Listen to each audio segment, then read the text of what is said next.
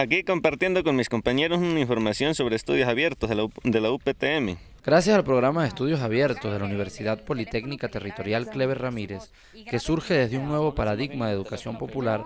la población de Chacantá, del municipio Arzobispo Chacón, impulsa comunidades de aprendizajes en distintas áreas ajustadas a la realidad y cotidianidad de este hermoso pueblo, al sur del estado Mérida. Mi nombre es Hernán Díaz Molina, pertenezco al proyecto de comunicación alternativa aquí en Chacantá. Mi nombre es Isaura Molina y pertenezco al grupo de comunicación alternativa de la UPTM por los estudios abiertos aquí en Chacantá. Me llamó la atención de comunicación porque en esta parroquia hay pocos comunicadores y se ve la necesidad de, de comunicar lo que tenemos aquí, nuestras raíces, nuestras costumbres, nuestra cultura más que todo. Las comunidades de aprendizaje, Tatu y Televisión y la Casa del Costurero, quienes también forman parte del programa de estudios abiertos, intercambian experiencias y saberes con estudiantes de este mismo programa de la comunidad de Chacantá en comunicación alternativa e informática. Pues hemos adquirido muchos conocimientos, como ya te dije, acerca de la fotografía, las técnicas, que uno siempre ha tomado fotografías, pero no sabe desde qué ángulos, desde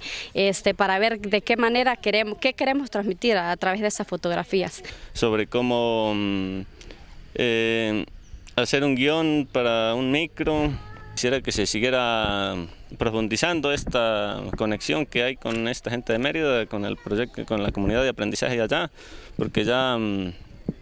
y se vinculan lazos y quisiéramos seguir indagando sobre muchas áreas porque nosotros apenas estamos empezando aquí en la parroquia. Y que tenemos que desde nuestra parroquia, desde las cosas este, pequeñas que podamos hacer cada persona, tenemos que aportarle hacia nuestra comunidad para eh, algún día no muy lejano, aunque ya estamos dando pasos, aunque sea pasos de tortuga, pero vamos hacia el desarrollo de nuestras parroquias.